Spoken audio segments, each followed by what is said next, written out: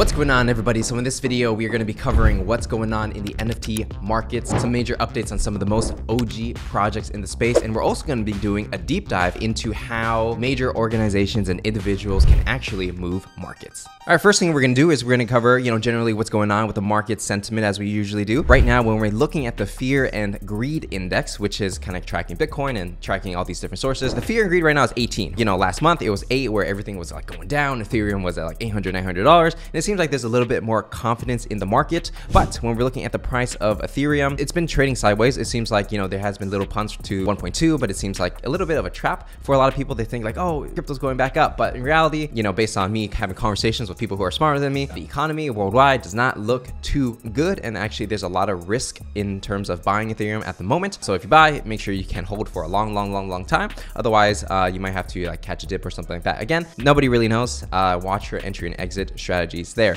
And when we are looking at NFTs markets, yes, you know, there's a lot of volume for some of the blue chip projects, which CryptoPunks had 500% or almost 600% in the last seven days. Bored Ape blowing up, Art Blocks blowing up, other side kind of blowing up a little bit. In some ways it's good, in some ways it's bad, where at least they're getting volume, but at the same time, it's not really healthy for the space where it's only the top four or five projects that get all the volume because it really drains out all the smaller projects and it's harder to compete, right? You know, we're gonna see this during a bear where people are gonna hold the assets that they believe are more safer relative to other things. And then during a bull, you know, that's when everybody goes crazy with buying like these riskier assets and hopefully, you know, those things go up a lot more than a blue chip would. But again, you know, for the most part, my understanding is for a lot of people in the space, especially people who have money, they would prefer to buy things that can potentially increase in value, have some cultural significance, have a lot of VC money behind them and very popular. So that would be like CryptoPunks, Art Blocks, you know, Bored Ape. Those would be like the top ones at the moment, right? But again, there are also other different pockets you can go into to make money, like Zuki, CloneX, and if you want to like dive a little deeper into those ecosystems, but you really have to understand what you're getting into and how it works. Otherwise, you're just gambling. Well, you know, NFTs itself is a gamble, so you know, we're always gambling, right? Now, let's go ahead and talk about some smaller projects, show some love, right? So The Littles actually had some recent news where they have officially moved into production with the Emmy award-winning studio Nelvana and Time. It's not like new news that The Littles are going into like IP and production. They actually did announce that a while ago. But I think the update now is like they're actually moving into production and they're actually going to start creating this series. Now, what the series will actually look like, we don't really know if the series actually pulls a lot of weight and brings a lot of attention to the Littles. Could that be an IP that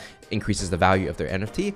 Possibly, possibly, or possibly not, right? My goal here is not to pump anyone's bag or to say what's good and it's bad. It's just to share my personal opinion, right? If it's hit series actually does become extremely popular and people want to buy like plushie toys and you know there's a lot of uh, avenues for IP, then yeah, you know I can see it potentially increasing the value of the Genesis NFT, which is the Littles, and you know there's definitely that route. But on the other side, it's like who exactly is this IP made for? Because this studio is, I believe, is known for making children's content, right? If they make children's content, but the people that have the Littles are more like adults who are in their like maybe 20s and 30s and things like that, how much will that translate? I'm not really sure, right? But we also see with like Pokemon, for example. I mean, Pokemon's different because it's the number one, like one of the number one franchises. But for Pokemon, it's a children's series, right? But because there's so much nostalgia, like the Pokemon cards from Generation One, where when I was a kid growing up, like that's the thing that we like really liked, it has a lot of value, right? And so how the IP play is a little bit uh, confusing in terms of like if the show is successful will the you know nft become successful? It's pretty unclear but because this is the wild wild west who knows right? And i have talked to will before and i believe we might potentially be doing an interview on the parallax coming up real soon. You know they do have other things coming up in the pipeline so you know just keep an eye out for that. Now in other news Ryder Ripps who's an artist he kind of made this whole claim that you know Bored Ape is like racist and things like that right? And he so he partnered up with WilmerHale which i believe is a law firm and this guy lewis who's supposedly an expert in nfts and copyright laws and ip they also have like Poly Zero X and you know all these other guys are working together. You know, for me for this video, I'm just gonna take a neutral stance. I mean, I'm not an intellectual IP expert, so I'm not even gonna comment on like what's fair use and what's not fair use. I can give my opinion, but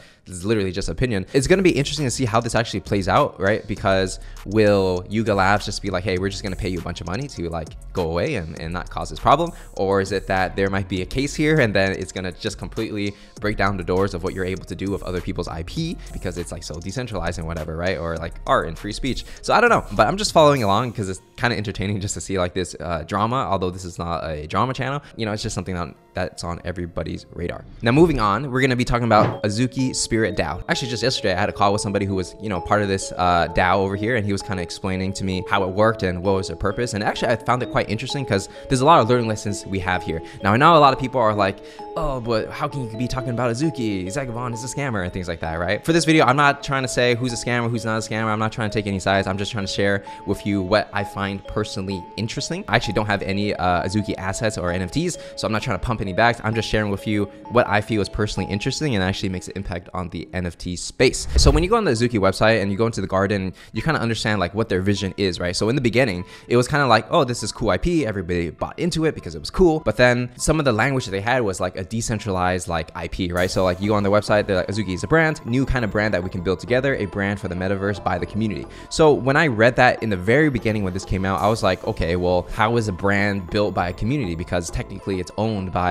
you know, one company, right? And when you sell an NFT, it's not like you're selling ownership of your company. You're selling a collectible just as Pokemon, the IP and franchise will sell you a Pokemon card. You can have a $100,000 Charizard, but it doesn't mean you own a percentage of Pokemon, the franchise, right? So I was like, well, what does that really mean? Over time, as we see things progress, I'm starting to understand what it means, right? When we look at Azuki DAO, they did have some Twitter spaces that I didn't have a chance to listen to. I tried looking for it yesterday and it seems like they were deleted. So not too much information that I could have pulled from there. But based on my conversations and just kind of looking at it, this is kind of like how it works. So a group of people got together, they pulled some money together, and their whole goal is to buy really rare grail Azukis, right? So like they go out looking for the rare Azukis and they try to negotiate buying these rare Azukis and pretty much collecting it together. Now, some people might say like, hmm, that's kind of risky that, you know, you would pool so much money just to buy one type of assets. Most of your portfolio is within Azuki, right? I'm sure they buy other stuff, right? I'm not exactly sure about that because I'm not part of Spirit DAO. But anyways, Azuki is their main thing. Let's say if they really believe in Azuki and Azuki takes off and it becomes the next Pokemon, Hello Kitty or whatever, right? They have all the rare ones. So, you know, suddenly their value of their assets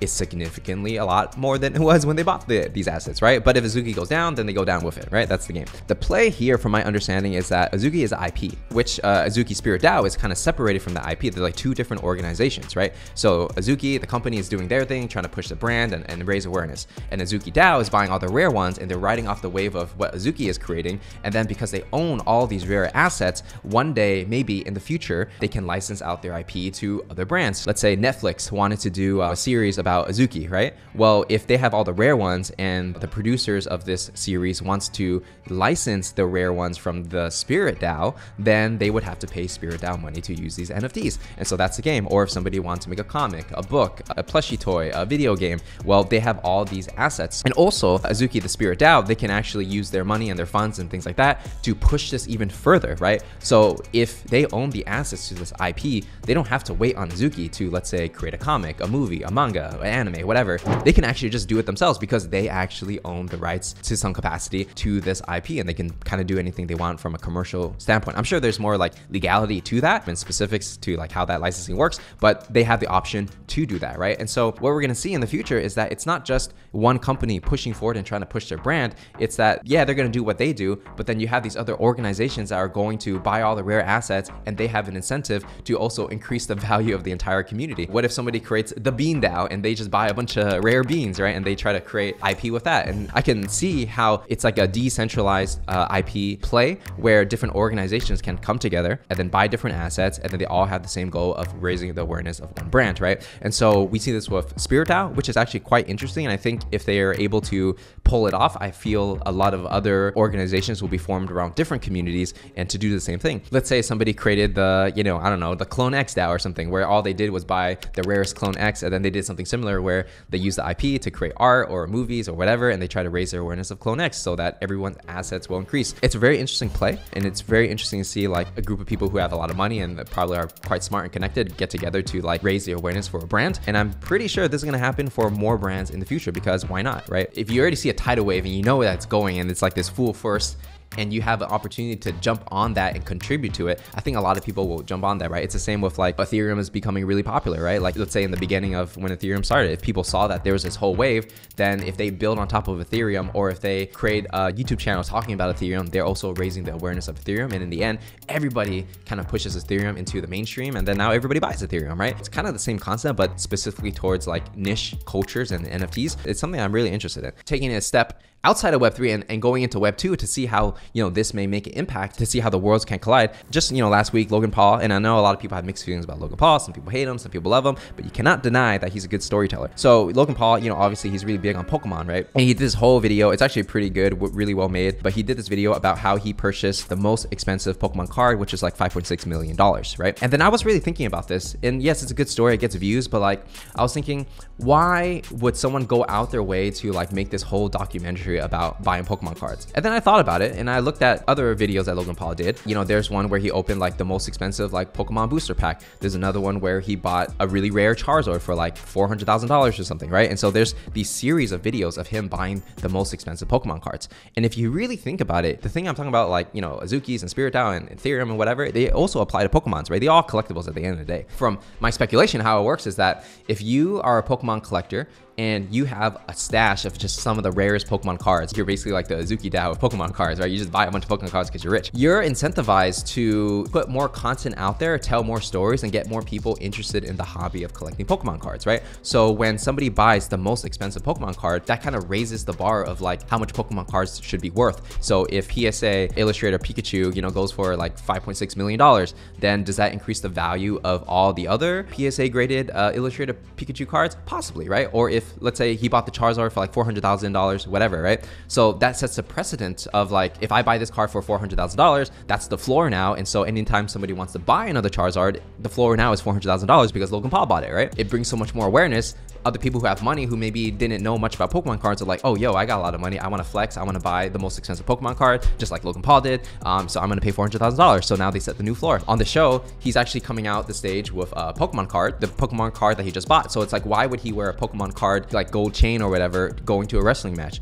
Because millions of people are going to see it. And then it only takes like one person who's willing to buy this card for like however millions of dollars to like increase the floor. They're actually raising awareness for a specific type of niche, which is Pokemon cards in a mainstream way to attract new people into the hobby, which actually increases demand for these assets. And because they already have so much of these assets from years ago, the assets that they have that keep pumping up, right? This is how it goes, right? If you ever study like fine art, collectibles, and things like that, this is the game that people play. So it's nothing new. People have been doing this in uh, modern art and fine art for like hundreds of years or thousands of years, right? But now that we're seeing it in a new form with this whole social media thing and telling story and making videos, history is kind of rhyming again. And so if you are, let's say, an NFT trader or if you're an NFT investor, you have to look at these things to understand who is holding large bags of certain assets, who has an incentive to increase the value of these assets, and are there enough people who will collectively come together to increase the value of these assets, increase awareness, tell stories, and turn something into a brand, especially with the rise of NFTs where you're able to own the rights to your specific IP,